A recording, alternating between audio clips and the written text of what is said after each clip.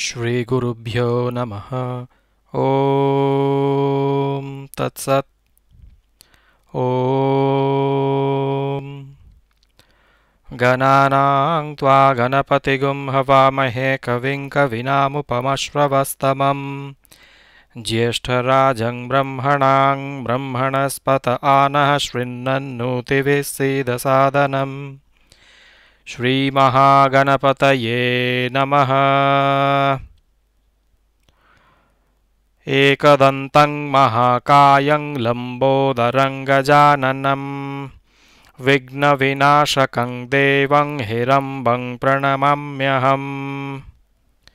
ॐ ऐं। श्रीगुरवे नमः। गुरुदेवाय विद्महे, श्रीचैतन्यरूपाय धीमहि, तन्नो गुरुप्रचोदयात् गुरुर्ब्रह्मा, गुरुर्विष्णु गुरुर्देवमहेश्वरः गुरुरेव परं ब्रह्म, तस्मै श्रीगुरवे नमः। ॐ सर्वमङ्गलमङ्गल्ये शिवे सर्वार्थसाधिके। शरण्ये त्र्यम्बके गौरी नारायणि नमोऽस्तु ते।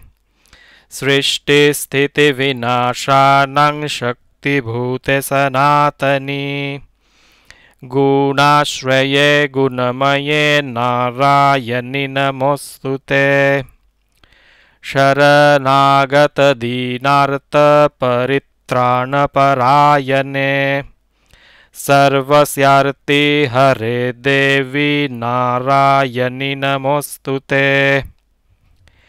जयन्ती मङ्गला काली भद्रकालिकपालिने। दुर्गा शिवा क्षमा स्वाहा स्वधा नमोऽस्तु ते। महिषघ्नि महामाये चामुण्डे मुण्डमालिने। आयुरारोग्यविजयं देहि देवि नमोऽस्तु ते। काली काली महाकाली कालिके पापहारिणे। धर्मकामप्रदे देवी नारायणि नमोऽस्तु ते। ॐ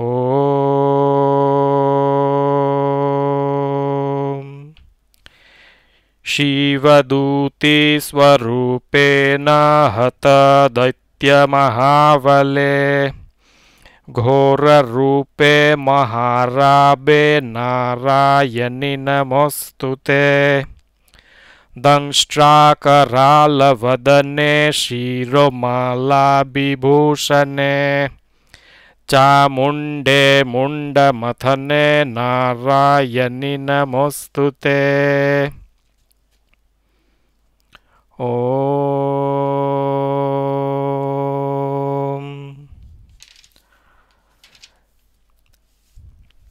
शवारूढं महाभीमं घोरदंष्ट्रं वरप्रदां हास्ययुक्तं त्रिनेत्रं च कपालकत्रिकाकरां। मुक्तकेशिं लोलजिह्वां पिबन्तीं रुधिरं मुहुः चतुर्बाहुयुतं देवीं वराभयकरं स्मरेत्। ॐ। कालिका वै विद्महे श्मशानवासिन्यै धीमहि। तन्नो घोरे प्रचोदयात्। ॐ। करालवदनं घोरं मुक्तकेशिं चतुर्भुजां कालिकां दक्षिणां दिव्यां मुण्डमालाविभूषितां सद्यश्चिन्नशिरः खड्गवामधूर्धकरम्बुजां अभयं वरदं चैव दक्षिणाधुर्धध्वानिकाम्। महामेघप्रभं श्यामं तथा चैव दिगम्बरें कण्ठावसक्तमुण्डालिगलद्रुधिरचर्चितां कर्णावतंसतानीतशवयुग्मभयानकम् घोरदंष्ट्रङ्करालस्यं पीनोन्नतपयोधरां शवानङ्करसङ्घातैक्रीतकञ्चिंहसन्मुखें श्विक्कद्वयगलत्रक्तधारा विस्फुरिताननां घोररावं महारौद्रिं श्मशानालयवासिनीं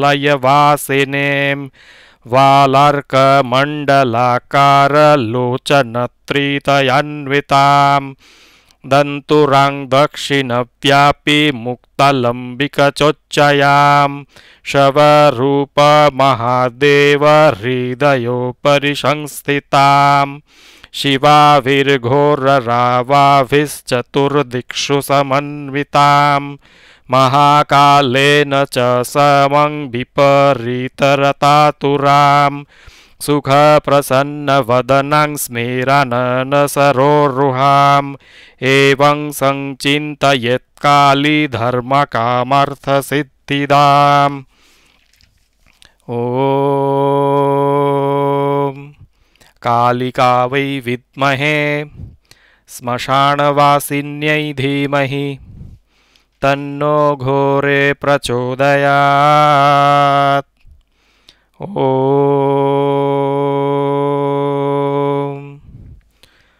अञ्जनाद्रिनिभं देवीं करालवदनं शिवां मुण्डमालावलीकीर्णं मुक्तकेशिं स्मिताननां महाकालहृदम्भोजस्थितं पीनपयोधरां विपरीतरताशक्तं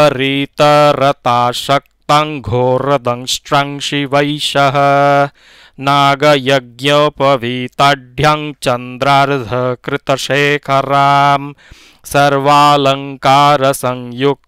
मुण्डमालाविभूषितां मृतहस्तसहस्रैस्तु बद्धकञ्चिं दिगंशुकां शिवकोटिसहस्रैस्तु योगिनीर्भिर्विराजितां रक्तपूर्णमुखं भोजं मद्यपानप्रमत्तिकां बह्न्यर्कशशिनेत्रं च रक्तविस्फोरिताननां विगतासु किशोराभ्यङ्कृतकर्णावतंसिने कण्ठावसक्तमुण्डालिगलद्रुधिरचर्चितां श्मशानवह्निमध्यस्थां ब्रह्मकेशववन्दितां सद्यकृत्तः शिडखर्गभराभीतिकरम्बुजाम् ओ कालिका वै विद्महे श्मशानवासिन्यै धीमहि तन्नो घोरे प्रचोदयात्। अथ श्रीकालिताण्डवस्तोत्रम्। ॐ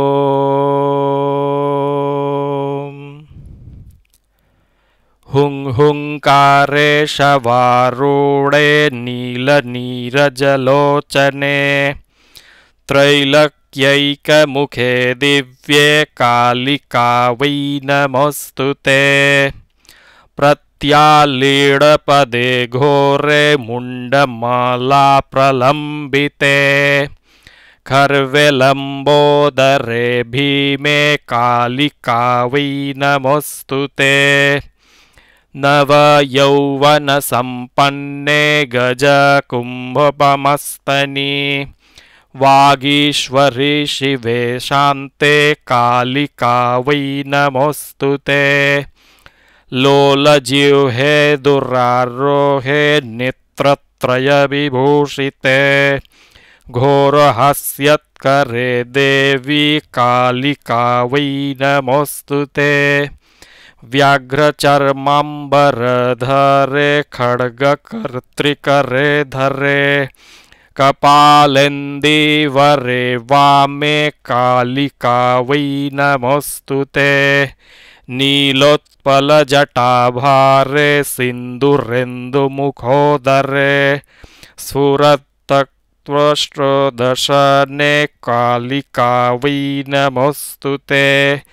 प्रलयानलधूम्राभे चन्द्रसूर्याग्निलोचने शैलवासे शुभे मातः कालिका वै नमोऽस्तु ते। ब्रह्मशम्भोजलौघे च शवमध्ये प्रसंस्थिते प्रेतकोटिसमायुक्ते कालिका वै नमोऽस्तु ते कृपामयी हरे मातः सर्वाशा परिपूरिते। वरदे भोगदे मोक्षे कालिका वै नमोऽस्तु ते। इति उत्तरतन्त्रार्गतं श्रीकालीताण्डवस्तोत्रं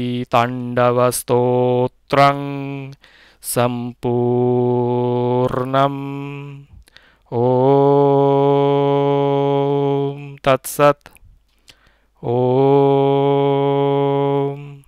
यदक्षरं परिभ्रष्टं मात्रहीनं च यद्भवेत् पूर्णं भवतु तत्सर्वं त्वत्प्रसादात् महेश्वरी ॐ